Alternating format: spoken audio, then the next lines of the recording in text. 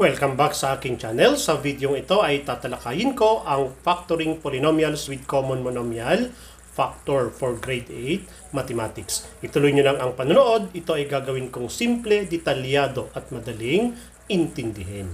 Kung bago ka pa lang sa aking channel, please subscribe para updated ka sa mga susunod na video i-upload ko dito.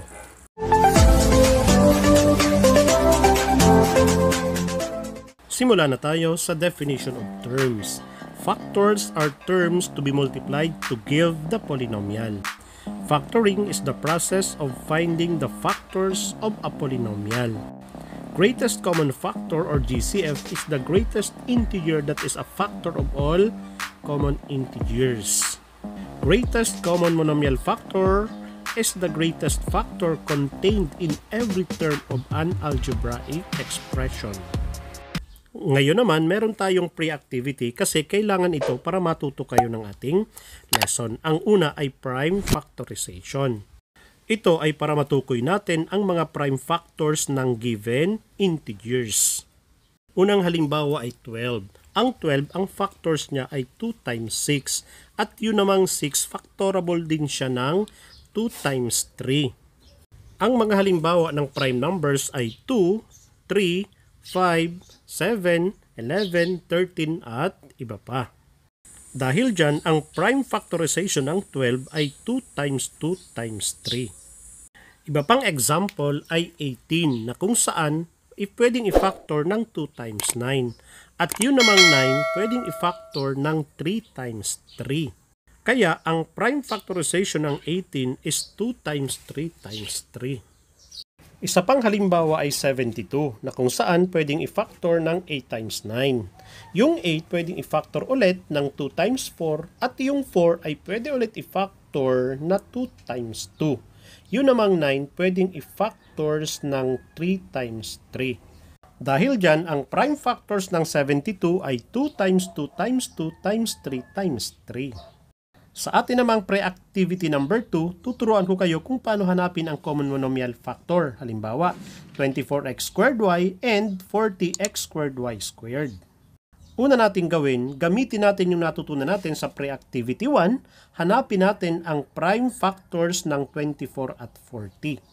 At ang prime factors nga ng 24 ay 2 times 2 times 2 times 2 times 3. At i-factor din yung variables na x times x times y. Samantalang ang 40 naman ay 2 times 2 times 2 times 5. At ang kanyang variables, x times x times y times y. Then, ilista mo na yung lahat ng common kay 24x squared y at kay 40x squared y squared. At ito nga ay 2 times 2 times 2 times x times x times y na kapag pinagmultiply natin lahat, ito ay 8x squared y at yan na nga ang ating greatest common monomial factor. Proceed na tayo sa ilang exercises. Factor the following by common monomial factor. Number 1, 4x squared y plus 10x. Ang GCF ng 4 at 10 ay 2, yung variables ang common lang ay x, at yung walang exponent ang mas mababa, kaya yun ang kasama ni number. So, 2x na nga ang ating common monomial factor. At para makuha natin yung isa pang factor, i-divide natin siya sa bawat term ng polynomial. 4x squared y divided by 2x equals 2xy. 10x divided by 2x is plus 5. Na kung saan yung 2x nga ang ating greatest common monomial factor, samantalang yung quantity 2xy plus 5 ang ating other factor. Therefore, ang factors na nga ng 4x squared y plus 10x equals 2x quantity 2xy plus 5. Next, number 2, factor 32x to the 4th minus 16x cubed plus 4x squared. 4x squared ang ating greatest common monomial factor dahil lahat ng numbers divisible ng 4 at sa variable naman x squared ang pinakamababang degree. At 4x squared nga ang i-divide natin sa bawat term ng polynomial. To divide 32x to the 4th by 4x squared, divide 32 by 4 equals 8. Subtract the exponents of the numerator by its denominator. So 4 minus 2 is x squared. Negative 16x cubed divided by 4x squared is negative 4x. 4x squared divided by 4x squared equals 1. At ang factors na nga ng ating polynomial ay 4x squared quantity 8x squared minus 4x plus 1. Number 3, factor 18m to the 5th n to the 4th minus 24m to the 4th n cubed minus 36m cubed n squared. Ang ating common monomial factor ay 6m cubed n squared na siya nga nating i-divide sa bawat term ng polynomial. 18 divided by 6 is 3. m to the 5th minus 3 equals m squared. and to the 4th minus 2 equals n squared. Negative 24 m to the 4th n cubed divided by 6 m cubed n squared equals negative 4 mn. Negative 36 m cubed n squared divided by 6 m cubed n squared equals minus 6. At ayan na nga, natapos na ang factoring.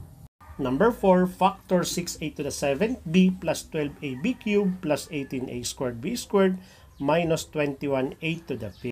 Ang ating common monomial factor ay 3a na siya nating i-divide sa bawat terms ng polynomial.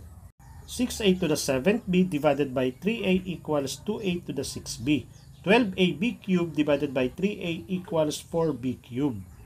18a squared b squared divided by 3a equals 6ab squared. Negative 21a to the 5th divided by 3a equals negative 7a to the 4th. Number 5, factor negative 2m cubed minus 10m squared minus 18. Ang ating common monomial factor ay negative 2 dahil lahat sila ay negative. Negative 2m cubed divided by negative 2 is m cubed. Negative 10m squared divided by negative 2 is negative 5m squared. Negative 18 divided by 2 is plus 9.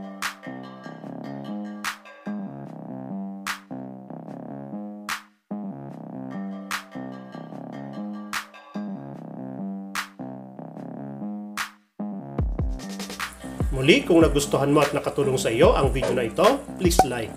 At pakishare mo na rin para makatulong din tayo sa iba.